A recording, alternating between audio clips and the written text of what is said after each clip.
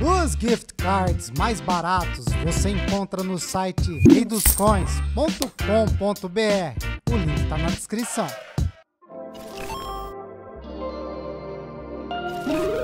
O trailer de GTA 6 já tá aí faz um tempo e as pessoas continuam buscando quem são os atores dos protagonistas de GTA 6. Na verdade, estão procurando desde que aconteceram os vazamentos do jogo. Tanto o vazamento dos gameplays quanto o vazamento da descrição dos personagens. Quando ficamos sabendo que seria um casal inspirado em Bonnie e Clyde. Mas finalmente, faltando pouco mais de um ano para o lançamento do jogo, caso não for adiado, parece que os atores finalmente foram encontrados. Se quiser ficar sabendo sobre todos os detalhes e todas as pistas, Vem comigo. Fala galera, aqui é o Lucas e você está assistindo meu canal de games. Tudo bem com vocês, pessoal? E estamos aqui para mais um vídeo. Dessa vez, atores de Lúcia e Jason em GTA 6 foram revelados. Lúcia, para começar, vamos falar sobre a Lúcia, a protagonista mulher. E bom, para nossa felicidade, essa aqui a comunidade já encontrou faz tempo, ou pelo menos acha que encontrou. E é bem possível, inclusive, que a maioria de vocês já saiba saiba quem é. Seria Maniel Pérez. E por mais que isso, obviamente, ainda não tenha sido confirmado,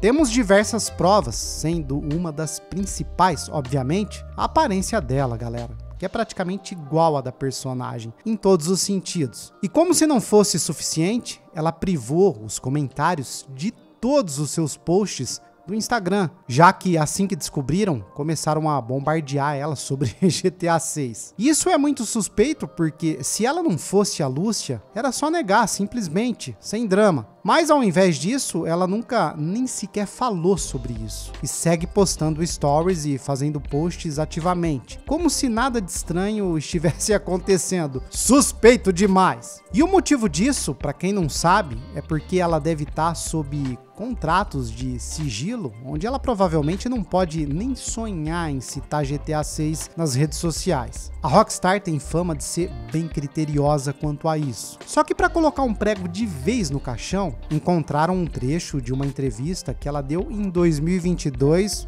onde, bom, ela se meteu em uma saia justa. Se liguem, you did a voiceover on Grand Theft Auto. Like I'm currently replaying Grand Theft Auto because I have nothing else better to do oh. in spare time. No, so, I haven't. What? No. you didn't do you know? No, I haven't. No. Well, who messed up on these questions, James? Okay, no, because you, you do voiceovers as well. I do voiceovers, yeah, but never. Okay, that's what it was. Uh, we apologize because like I was coming up with, I was looking over the questions and everything, and yeah. you, I don't know who does the IMDb for you. Because when Mike said down this Grand Theft Auto, and I was yeah. super excited to ask you that. Yeah, really? yeah, yeah, on your IMDb. What did it? What does it say? It says Grand Theft Auto 5 video game Clubber 2 voice. Yeah, you might want to talk to somebody oh. about that. Clubber 2. Mm-hmm. I see when I do voiceover, sometimes I don't know what I'm doing and they just hand me a script. Was it a casino? Because I did do a voiceover for a casino thing but I don't know what it was for. Basicamente, o que aconteceu foi que um dos entrevistadores achou o IMDb dela, que é onde ficam registrados papéis de atores, roteiristas e diretores. E lá estava dizendo que ela fez a voz de uma personagem no GTA V chamada de Clubber 2. Mas o que torna isso engraçado é que antes dele explicar para ela que a personagem dela se chamava Clubber 2, ela estava negando de pé junto que havia gravado algo para algum GTA. Ela claramente ficou nervosa casa. E como a comunidade de GTA é insana, é claro que eles encontraram essas linhas de diálogo dela no GTA V, mais especificamente no online. Se liguem aí nessa comparação entre as duas vozes. The only way we're gonna get through this is by sticking together. You look crazy doing that, you know? What are you trying to do there? You stalking me or something? Ever heard of personal space? I'm gonna need you to take a few steps back. Bom, mas beleza, se você não acha que isso não é prova suficiente, temos também uma entrevista de 2021, onde ela fez uma outra fala muito suspeita. Right now, I've been transitioning my career into voiceover and motion capture. Okay. So, in this moment, I would love to book uh, like a lead role or one of the lead roles on a children's animation. Como vocês notaram, ela disse aí que estava começando a trabalhar mais com mocap e estava focando a sua carreira nisso. E para quem não sabe, é exatamente assim que são gravados os jogos, através das capturas de movimentos dos atores, ou mocap. Um pouco mais para frente na entrevista, ela comentou dizendo que estava tendo a sorte de ser escalada para papéis principais. I'm very lucky that I'm being sent for like lead roles and lead roles and shows and stuff. Porém, a maior pista de todas nessa entrevista é no final, quando a entrevistadora comenta que no futuro a Manny teria que voltar ali para falar sobre uma coisa grande que ela tá fazendo parte. You, what so what are are you allowed to tell us what you're filming right now or is it like top secret? What I've um what I've been filming I can't talk it's big. Uh, okay. But I can't talk about it because I signed an NDA. Okay. But um, y'all see.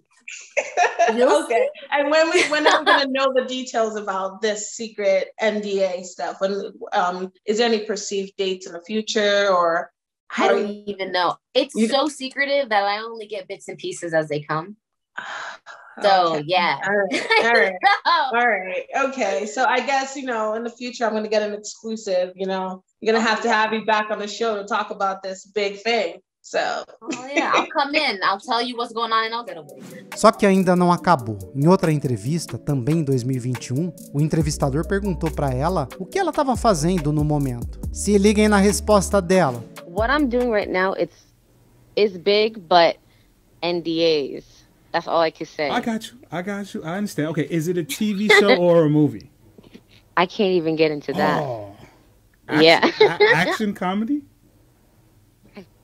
Man, I wish I, if I uh, could, if I could, right, I, I would. But right. You know, I like making my monies, and I uh, listen, and you know they love NDAs. So I, I totally understand. I totally. Somando tudo isso e também aquela questão dela ter privado o Instagram, fica muito difícil não acreditar que ela seja a atriz por trás da Lúcia. Até porque ainda temos uma prova final caso alguém ainda não esteja convencido. Curiosamente, a Rockstar tem o histórico de escalar atores que já participaram de uma série chamada Law and Order. Para vocês terem noção, tanto o ator do Michael e do Trevor de GTA V, quanto o Arthur do Red Dead Redemption 2 também participaram dessa série. E adivinhem quem mais participou? Pois é, a Meniel Pérez. E como se não fosse o suficiente, ela também interpretou uma personagem chamada Lúcia em uma outra série, chamada East New York. Então, na minha opinião, isso nem é uma dúvida a mais. Acho que a gente pode até bater o martelo definitivamente ela é a Lúcia. Jason, é agora que chegamos na parte difícil do vídeo, já que até agora não temos certeza absoluta sobre quem será o ator do Jason. Desde que ficamos sabendo que o jogo teria uma mulher protagonista,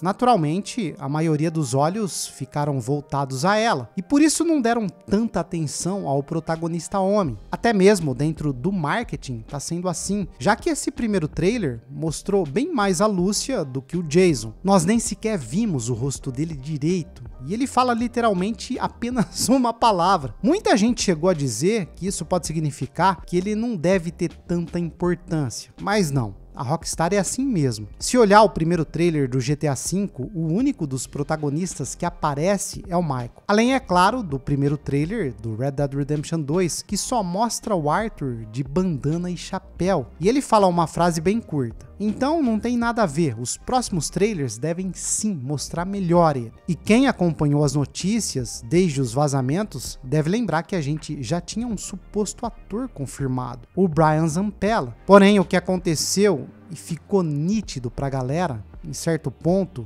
foi que esse cara, na verdade, só tava surfando no hype que esse rumor tava dando para ele. Ele chegou assim a gravar alguns vídeos com os atores do GTA V, como Franklin, porém não deu em nada. E diferente da Maniel Pérez, ele já falou sobre GTA 6 abertamente diversas vezes, o que teoricamente seria uma quebra de contrato caso ele tivesse algo com a Rockstar. Fora que o maior indício de todos é a voz, já que a voz dele não tem nada a ver com a voz do Jason nos vazamentos do jogo. Então, acho que podemos sim descartar essa possibilidade. Indo agora para a época em que o trailer do jogo saiu, a comunidade enfim conseguiu achar algumas pistas sólidas. Porém, nada que realmente entregue, como foi o caso da Lúcia. No momento, existem diversos atores que batem com algumas características. E como não temos todo o tempo do mundo aqui, eu vou citar para vocês os dois mais prováveis, que estão no topo de todo esse filtro. O primeiro seria o Jake Silberman, que só de ver as fotos já dá para perceber que é bem parecido com o que vimos até então do Jason. Já o segundo seria o Dylan Roque, que sem dúvidas não é tão parecido com o Jason. Porém, onde esse aqui se destaca é na voz, que é mais parecida com a do Jason. Porém, eu infelizmente não vou poder mostrar o comparativo para vocês por conta que só podemos ouvir a voz dele com clareza através dos vazamentos. E obviamente,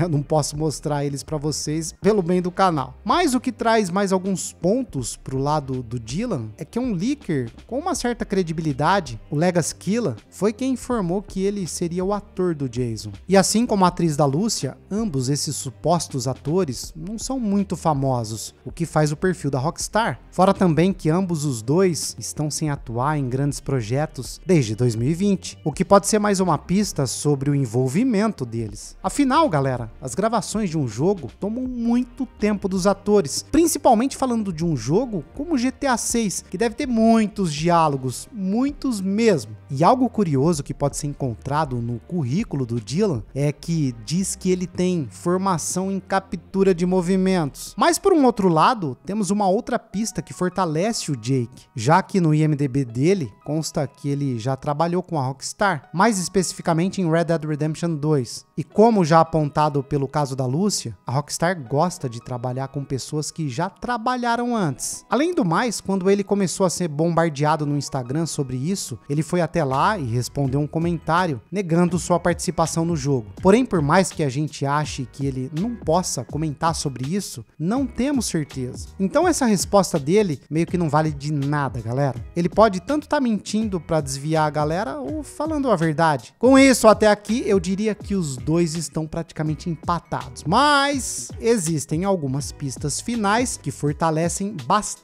o lado do Dylan. Primeiramente, ele possui olhos azuis na vida real, assim como o Jason. Claro que isso pode não significar nada e ele eles podem colocar a cor que quiserem no olho do Jason dentro do jogo. Porém, ainda assim, é mais um pequeno detalhe que soma aos outros que eu citei anteriormente. Segundo, olhando o perfil da agência dele no Instagram, eles simplesmente postaram uma parabenização para ele em junho de 2019, dizendo que ele conseguiu um papel como ator VO em um videogame. Videogame esse que até o momento, 2024, não foi lançado, já que não consta no currículo dele. Mas sabem o que é mais interessante ainda, a data 2019. Isso porque essa é a data onde a gente acredita que a Rockstar começou a trabalhar firme no GTA 6, já que foi logo após o lançamento do Red Dead 2. Foi também mais ou menos a mesma época de quando ocorreram os primeiros vazamentos do jogo, dizendo que seria em Vice City e com um casal de protagonistas.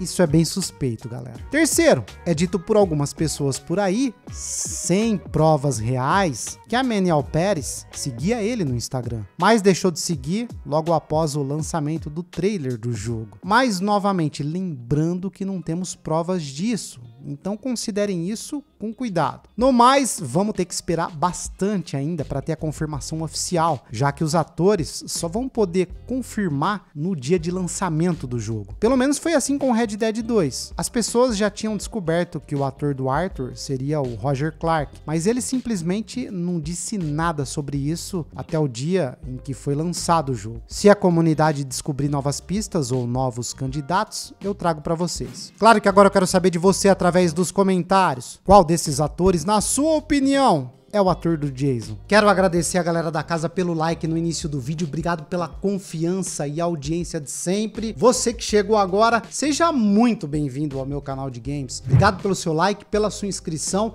Agora é seguinte, não esquece de ativar o seu sininho das notificações para os próximos vídeos. É isso. Um beijo, um abraço. Fui, pessoal. Tchau, tchau. Até o próximo vídeo.